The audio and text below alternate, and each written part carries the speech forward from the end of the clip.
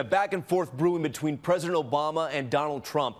The outgoing president telling former advisor David Axelrod in a podcast interview he would have defeated Trump if he ran for a third term.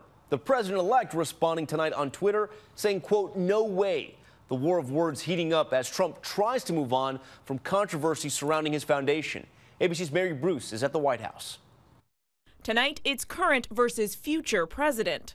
It started with President Obama saying he could have taken on Trump. I am confident in this vision because I'm confident that if I if I had run again and articulated it, I think I could have mobilized a majority of the American people to rally behind it. But late today, Trump firing back, tweeting President Obama said he thinks he would have won against me. He should say that, but I say no way. Jobs leaving ISIS, Obamacare.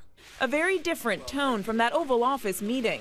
Very, very good man. Thank you, very good man. Trump tonight also slamming the UN just days after it passed a measure condemning Israel, saying it has such great potential, but right now it's just a club for people to get together, talk, and have a good time. These latest critical tweets coming 25 days before the inauguration as Donald Trump is racing to free himself from potential conflicts. Announcing on Christmas Eve he's shutting down the Trump Foundation to avoid even the appearance of any conflict.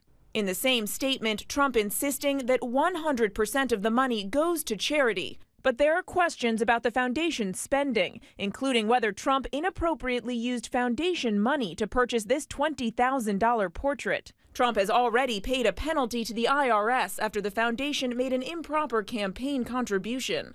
And now Trump's plan to shut it down is facing a major snag. The New York Attorney General's office is investigating the foundation and says it cannot legally dissolve until that investigation is complete. And Mary Bruce joins us live from the White House tonight. And Mary, we're also learning about a shakeup on his White House team. That's right. Already a little staffing drama. Just a few days ago, Trump named Jason Miller to be his communications director. But now Miller's announced he won't be joining the team here after all. Instead, Miller says his family needs to be his top priority. Tom? Mary Bruce for us tonight. Mary, thank you.